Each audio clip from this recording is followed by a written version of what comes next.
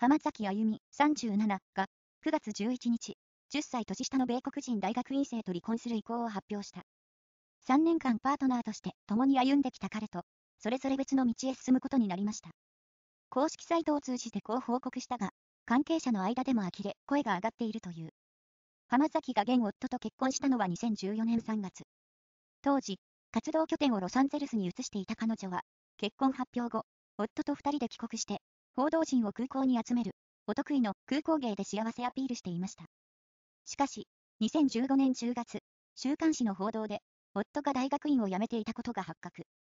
先に、拠点を日本に戻していた浜崎のもとに、アメリカで医者を目指していたはずの夫も、いつの間にか転がり込んでいたといい、マスコミの間では、ひも夫になったのかと囁かれていたものです、週刊誌記者。また、この頃、すでに、浜崎が、夫の話題をあまり出さなくなっていたため、離婚間近かとも予想されていた。そして、結局、離婚に至ったようですが、浜崎は、2011年から約1年間、オーストリア出身の俳優とも結婚していた過去がある。この時は、日本での婚姻手続き不備で、戸籍上は未婚のままでしたが、事実上は、今回で罰2のようなもの。さらに、浜崎といえば、2012年から3ヶ月ほど交際していた元ダンサー、内山丸れ32の印象も強烈で、あれ。今回で、罰参加と思ったという声も。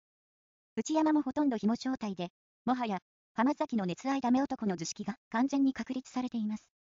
しかし、浜崎には、根強いファンが多いのも事実。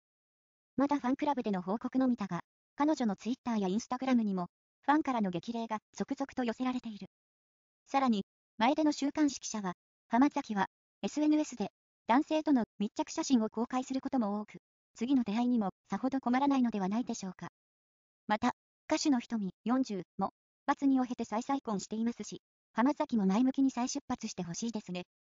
ただ、もう、紐男に引っかからないことを願います。特賞する。10月には、38歳の誕生日を迎える浜崎だが、久しぶりの独身バースデーはどのように過ごすのだろうか。